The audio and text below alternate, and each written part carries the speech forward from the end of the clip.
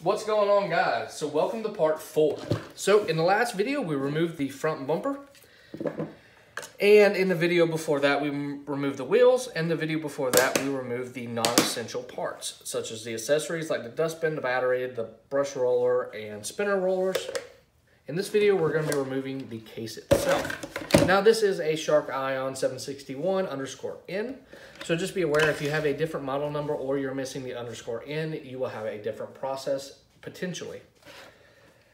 Here we have our, our, our Torx bit. We're gonna need, to, this is where the long shaft comes into play. We have one, two, three, four, five.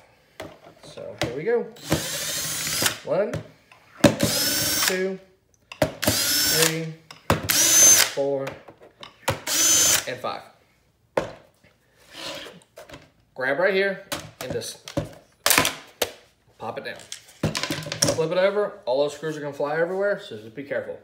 Well, we know this is bad, or actually this technically isn't bad. What's actually bad is the lights on the motherboard.